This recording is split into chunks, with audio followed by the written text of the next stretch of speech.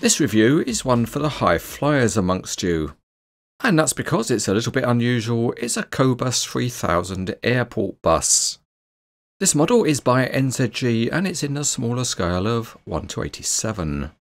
One thing you notice about real airport buses is they don't come in cardboard boxes.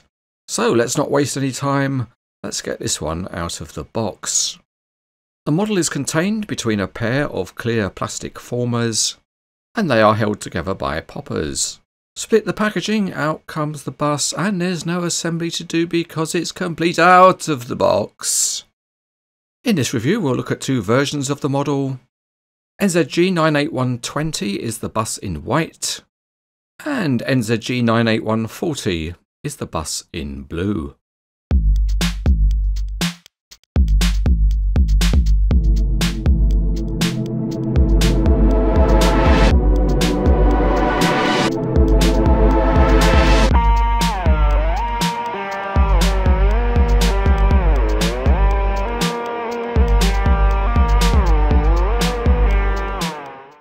For the detail we'll look at the blue bus and the underneath is a plastic base plate with simple axles with resin tyres.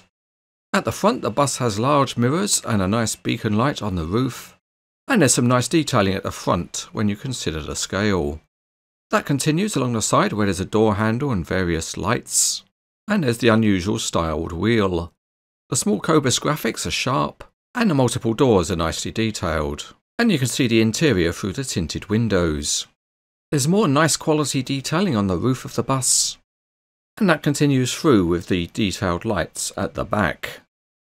The white bus has all the detailing of the blue bus with one major difference. It is white, not blue.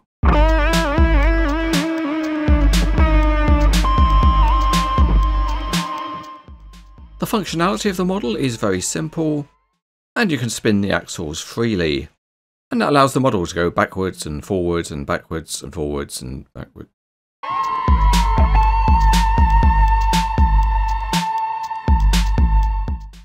These are nice promotional models of the Cobus 3000 by NZG.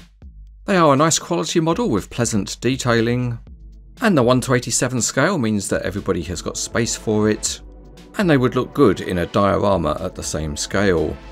Overall these are nice models which are rated as good.